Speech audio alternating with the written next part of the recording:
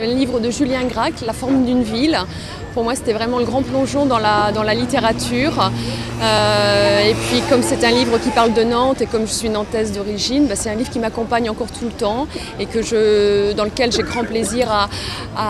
à me replonger, à feuilleter, à découvrir euh, toute la littérature euh, de, de Julien Gracq.